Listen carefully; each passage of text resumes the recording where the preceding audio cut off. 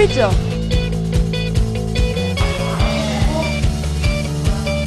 It's broken down for what, the third time today? Yep.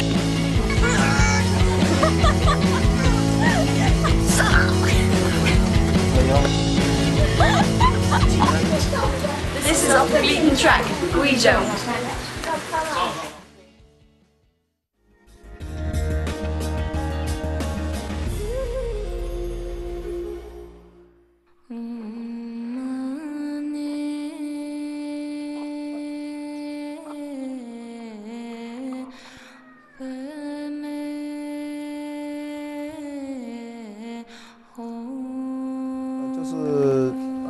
生一个小孩必须要种一片生命林，但是死了一个老人呢，同时也要栽一棵树，呃，不见坟墓的。就是之前呢，我们到这里呢，也是一个，呃，到这里也就是在这个这片大森林当中，也就就在这当啊，在这当中呢迷了路，然后也可以借这个大树的呃这茂密的这些森林呢的遮掩吧。可以得以生存，所以我们标山呢，就是呃到现在呢都是比较崇拜树木的来由，也就是呃树给他们重生的一个生命，所以他们就是生死都是与树呃不可分离的。Jess and I had initially come to Basha to speak to the tribe's Miao King and see some of their ancient rituals. However, upon arrival, we realized how much of these traditions had now become mere tourist entertainments. The place seemed to have a very surreal atmosphere. I think Basha is pretty much everything you expect and then not at all. Yeah.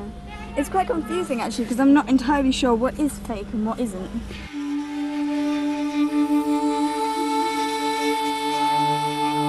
呃，现在可以说就像我这个年龄段的这些年轻人呢，他们平时都不会待在家的。我们老一辈人，呃，如果去去，呃， 谈恋爱啊之类的，他们都是会唱的苗歌。但是现在如果去谈恋爱的话，苗歌没有几个人会了。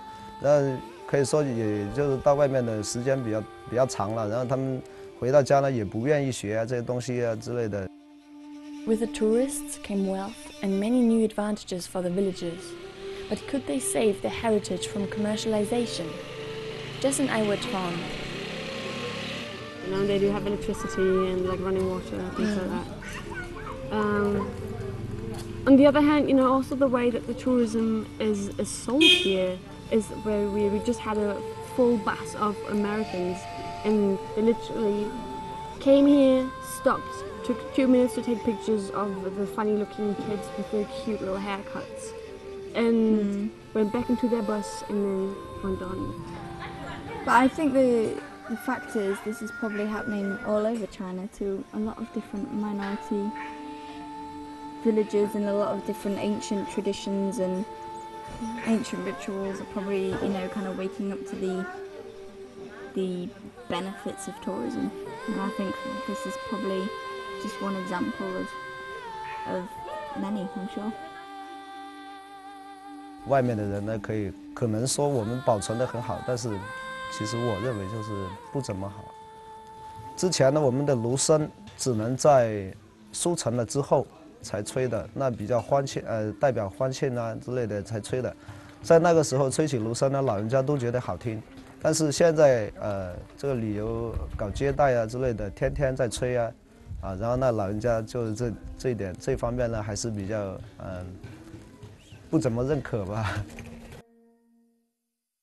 嗯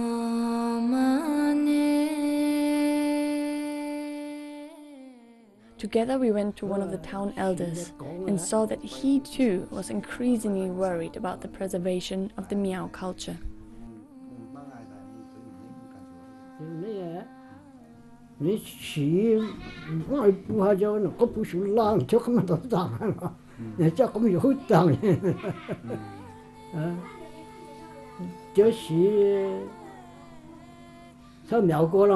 mà từ chế mông tuốc nó cái mà muốn gì ta yêu cái mà phù hay gì muốn năng cản chịu ai ta nhé. Ờ.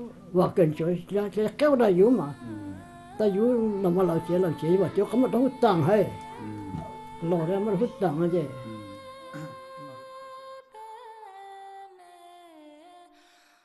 But then I think I think today we might have met some of the real people who live here, like the town elder, and you know that's probably the old generation is probably still very real. 呃，这个其实呃就是我们标沙呃，如果哪一家人呃有有人过世了，他的那家的河浪呢就会嗯数从下面往上数第三根呢就会被抽掉，然后抽掉是拿去做什么呢？就是抬死人用的。呃，这个第三根呢，其实我们标沙也不知道怎么说，因为。我们祭呃，我们祭祀还有所以所以所有呃所有那些祭祀的，呃都习惯用呃三个酒杯啊，或者三炷香啊，呃什么的都比较好像在我们标上来说，那个老人家说呢，就是凡事啊那三三样东西，呃那种才是比较嗯比较吉祥吧，啊那个就是。比如那个酒杯啊，或者香柱的，都是他们喝酒，都是一个是给人喝的，一个是给那个神喝的，啊，一个是给树喝的，对吧？但是抬死人呢，他们也习惯性用第三根。